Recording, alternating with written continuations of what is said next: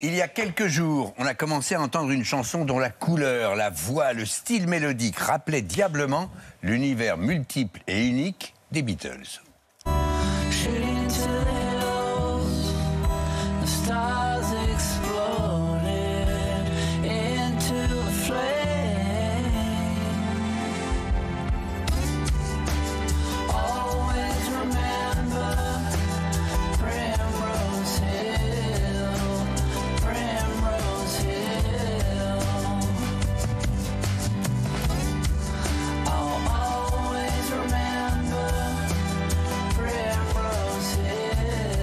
Ce titre s'appelle Primrose Hill. Il est signé McCartney Lennon. Il est sorti la semaine dernière. Mais le McCartney de Primrose Hill, c'est James, le fils de Paul.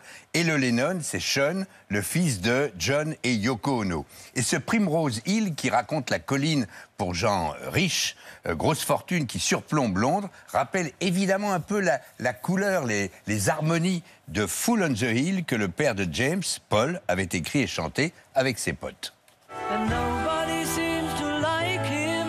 They can tell what he wants to do. And he never shows his feelings, but the fool on the hill sees the sun going down. And the eyes in his head see the C'est vrai qu'au refrain, on, retrouve les harmonies de Primrose Hill. Dans Primrose, c'est James qui chante et ils ont co-signé le titre James et Sean Lennon. C'est un peu euh, du rêve de James qui voulait, il y a dix ans, il avait fait toute une vidéo pour dire je veux constituer un quatuor avec les quatre fils Harrison, euh, Ringo Starr, euh, Sean et, euh, et James McCartney. Pierre-Antoine Capton, le producteur de C'est à vous, n'était pas né au moment des plus glorieux des Beatles, donc on les a jamais reçus à l'émission, qui n'existait pas. Ah bah oui. Mais nous, on a reçu les fistons, à commencer par Sean Ono Lennon.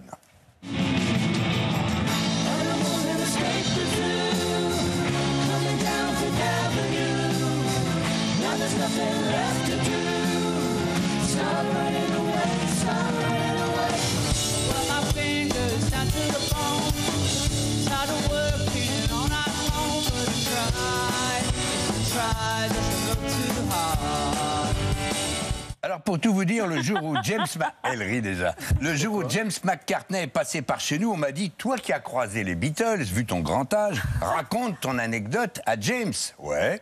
Regardez bien le fils de Paul et son bonnet. J'ai fait un vrai tabac. Je voudrais juste vous raconter une petite histoire. J'espère qu'elle vous fera sourire. Euh, dans votre chanson Pillote Coyote, vous dites Please hold my hand. Euh, prends ma main, tiens bien ma main. Et moi, un jour, j'ai rencontré, euh, j'étais tout jeune reporter il y a 50 ans, et on m'a envoyé dans un hôtel parisien avec un magnétophone pour essayer d'interviewer les Beatles.